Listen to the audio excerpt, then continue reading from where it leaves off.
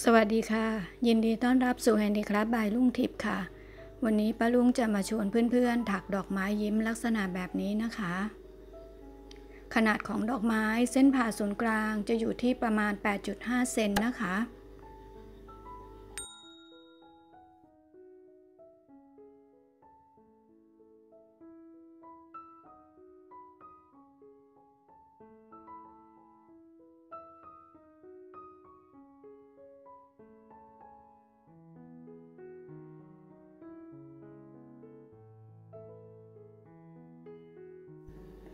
ค่ะเรามาดูวัสดุอุปกรณ์นะคะ ว่าจะต้องใช้อะไรบ้าง วันนี้ป้าลุงใช้ไหมพรมขนาด4พลายนะคะ เข็มโครเชต์วันนี้ใช้เบอร์3ทับ0หรือขนาด 2.2 มิลค่ะ แล้วก็จะมีเข็มเอาไว้เก็บปลายได้นะคะ มีลูกปัดสีดำสำหรับทำตา เข็มกับได้เอาไว้เย็บชิ้นงานนะคะ แล้วก็จะมีใยสังเคราะห์ แล้วก็จะมีห่วงกุญแจนะคะ ค่ะ เราจะเริ่มต้นด้วยการทำ magic ring นะคะ หลังจากนั้นถักโซ่หนึ่งครั้งค่ะ ตามด้วย single crochet ทั้งหมด 6 ครั้งนะคะ ลงใน magic ring ค่ะ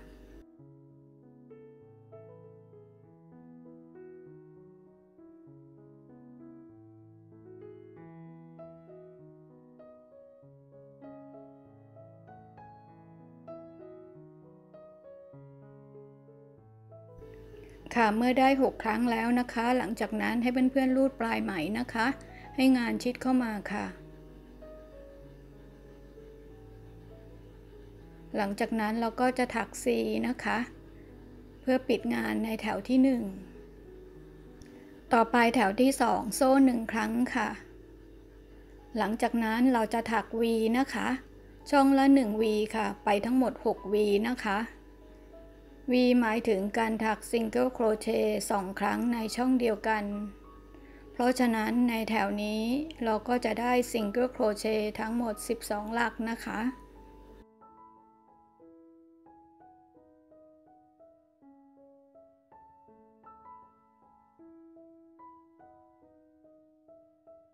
ค่ะพอถักมาถึงหลักสุดท้ายนะคะ เราก็จะถัก 4 ค่ะ 1 ครั้งนะคะ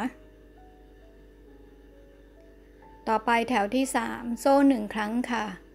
หลังจากนั้นเราจะถัก single crochet 1หลักในช่องแรกนะคะ ช่องถัดไปเราจะถัก V 1 ครั้งค่ะ ช่องถัดไป single crochet 1ครั้ง ช่องถัดไป V 1 ครั้ง เราจะทำสลับกันไปแบบนี้ตลอดทั้งแถวนะคะ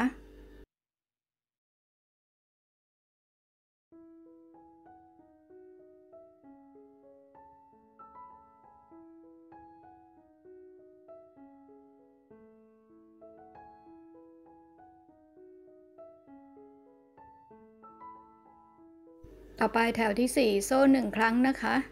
หลังจากนั้นเราจะถัก single crochet ช่องละ 1 หลักค่ะ ไปตลอดทั้งแถวนะคะ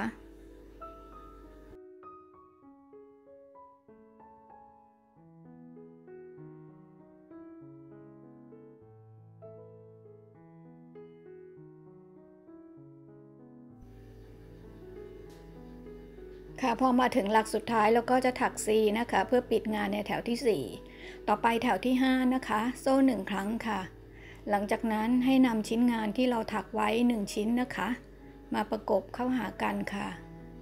เพื่อที่จะถักเชื่อมติดกันนะคะ ในแถวที่ 5 เราจะเริ่มต้นด้วย single crochet 1หลักในช่องแรกนะคะ ช่องถัดไป V 1 ครั้งค่ะ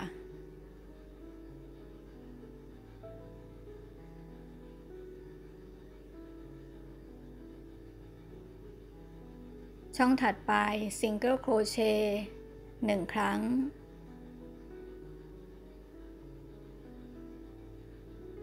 ช่องถัดไป V 1ครั้ง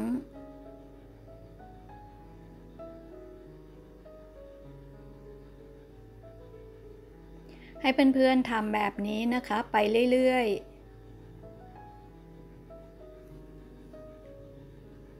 จนกว่าจะถึงจุดที่เราจะเว้นไว้เพื่อที่จะยัดใยสังเคราะห์เข้าไปก่อนปิดงานนะคะ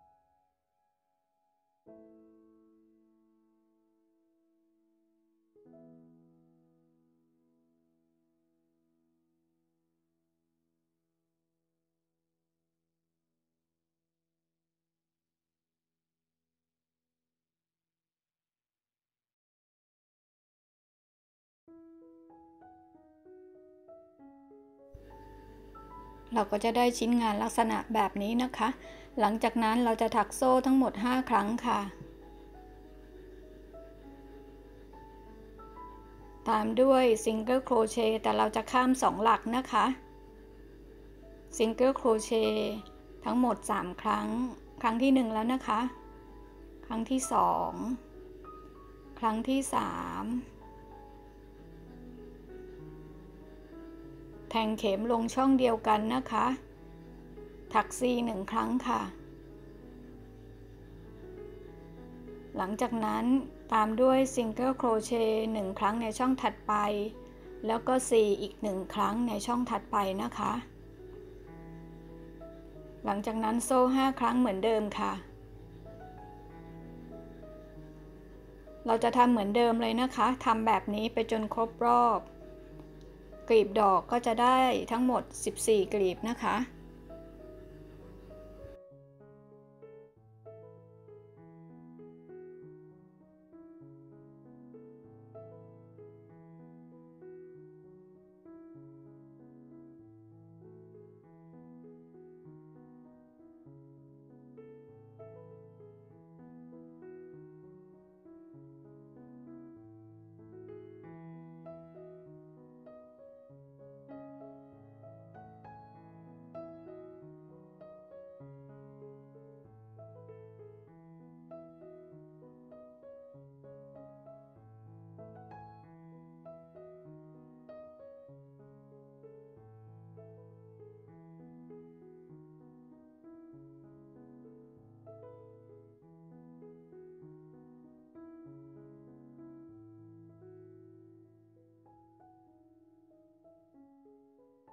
ต่อไปขั้นตอนถัดไปปลาลุ่งก็จะเปลี่ยนได้เป็นอีกสีหนึ่งนะคะ แทงเข็มลงไปลักษณะแบบนี้นะคะ หลังจากนั้น เกี่ยวไหมสีขาว ลอดขึ้นมาค่ะ ถักล็อกหนึ่งครั้งนะคะ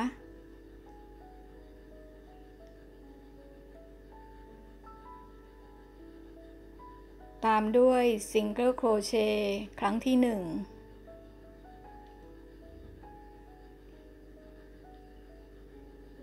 single crochet ครั้งที่ 2 ในช่องถัดไป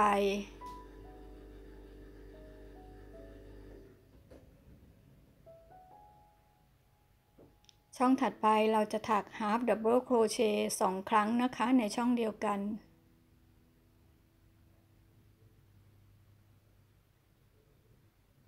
ช่องถัดไป double crochet 2ครั้งในช่องเดียวกันค่ะ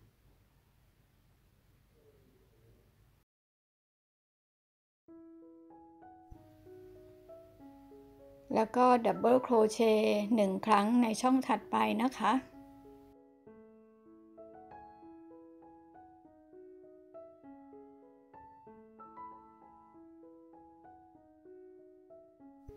ค่ะส่วนอีกฝั่งหนึ่งนะคะ ในช่องถัดไปเราก็จะถัก double crochet สองครั้ง ในช่องถัดไปนะคะ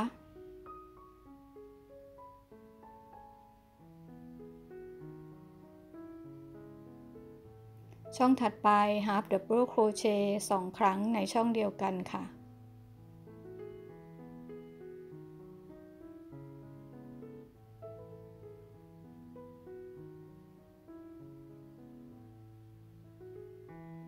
ช่องถัดไป single crochet 1 ครั้ง แล้วก็ตามด้วย single crochet อีก 1 ครั้งในช่องถัดไปนะคะ เราก็จะได้ 1กลีบนะคะ กลีบถัดไปก็ทำเหมือนเดิมค่ะ เริ่มต้นด้วยการถัก single crochet ครั้งที่ 1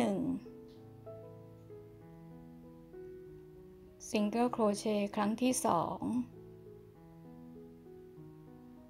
ตามด้วย half double crochet 2ครั้งในช่องเดียวกัน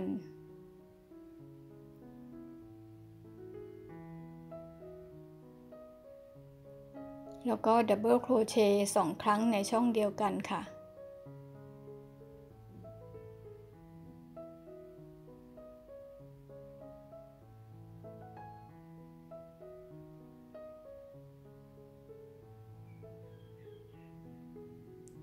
แล้วก็ double crochet หนึ่งครั้งในช่องด้านบนของกลีบนะคะ ให้เพื่อนๆทำสลับกันไปแบบนี้ทุกกลีบนะคะ เดี๋ยวกลับมาดูกันค่ะหลังจากที่ถักครบทั้งหมด 14 กลีบแล้วนะคะ ว่าขั้นตอนต่อไปจะต้องทำอะไรนะคะ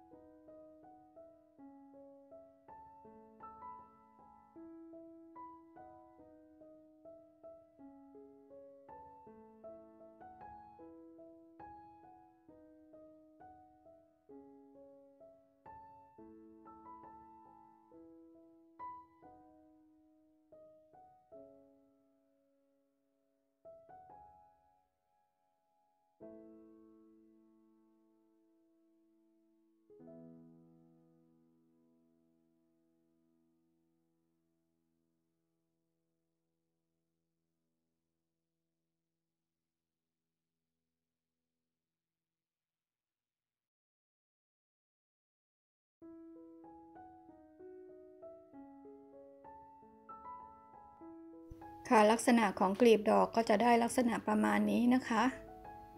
ต่อไปเราจะทำในส่วนของปากนะคะ ให้เพื่อนๆหาจุด ซ้ายและขวาที่จะเป็นจุดเริ่มของมุมปากนะคะ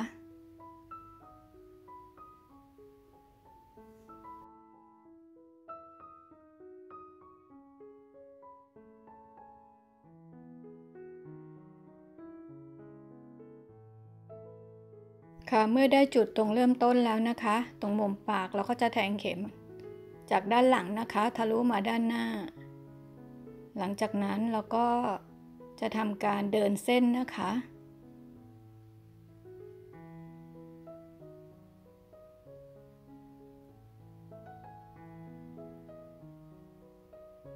เราจะเดินเส้นไปตามร่อง ตามร่องของแถวที่เราถักนะคะ ไปจนถึงมุมปากอีกฝั่งหนึ่ง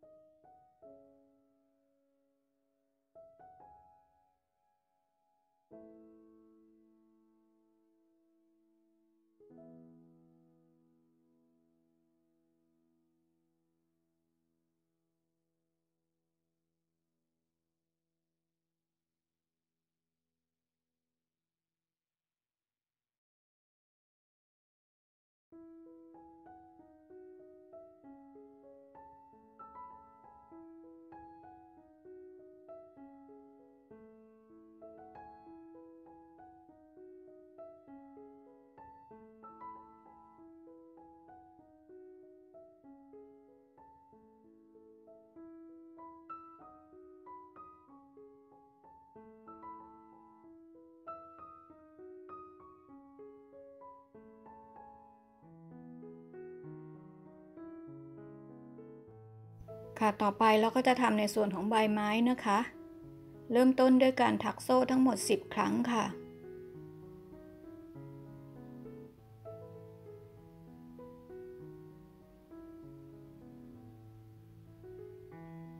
เมื่อได้ 10 ครั้งนะคะ แทงเข็มลงช่องแรกนะคะ เกี่ยวไหมขึ้นมาค่ะ แล้วค้างไว้ในเข็มนะคะ แทงเข็มลงช่องถัดไปเกี่ยวไหมขึ้นมา แต่ให้ดึง ดึงไหมสูงขึ้นนะคะ ให้มีความยาวมากขึ้นกว่าห่วงแรกนะคะ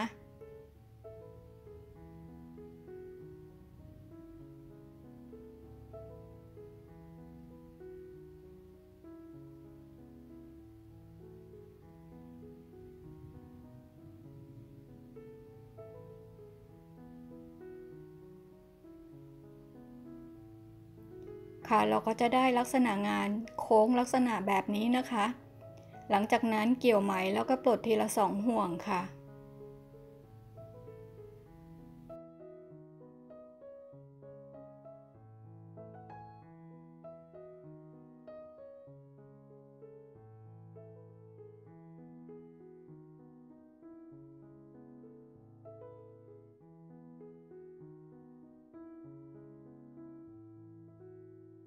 ค่ะหลังจากนั้นให้เพื่อนๆพลิกงานลักษณะแบบนี้นะคะ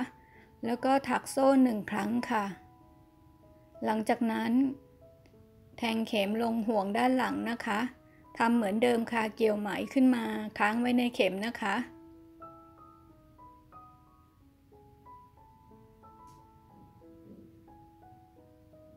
ให้ทำแบบนี้ไปจนถึงห่วงสุดท้ายนะคะ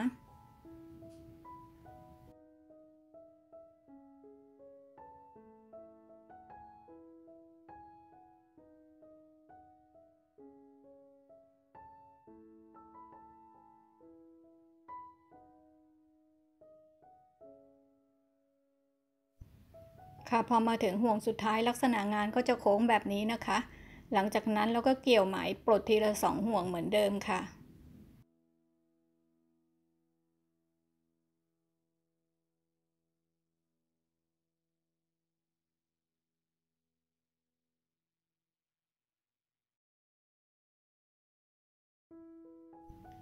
ค่ะหลังจากนั้นให้พลิกงานอีกครั้งหนึ่งนะคะ แล้วก็แทงเข็มลงช่องด้านบน ลักษณะแบบนี้นะคะ เกี่ยวไหมค่ะ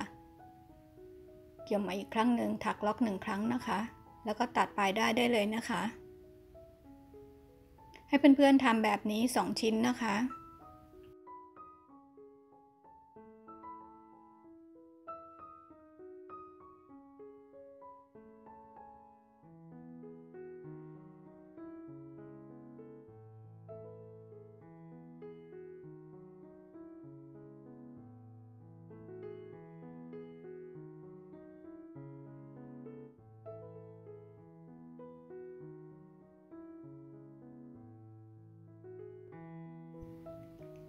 ค่ะขั้นตอนถัดไปเราจะทำในส่วนของสายคล้องดอกไม้นะคะ ด้วยการถักโซ่ทั้งหมด 40 ครั้งค่ะ ให้เพื่อนๆเหลือปลายได้ไว้ทั้งสองฝั่งนะคะ ฝั่งละประมาณ 10 เซนนะคะ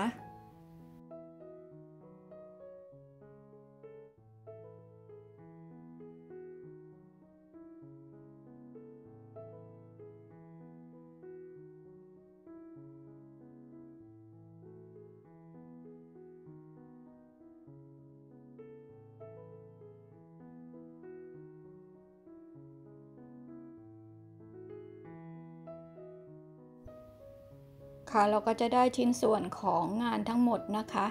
หลังจากนั้นเราก็จะนำโซ่ที่เราถักไว้นะคะ มาทำการเย็บติดกับตัวดอกไม้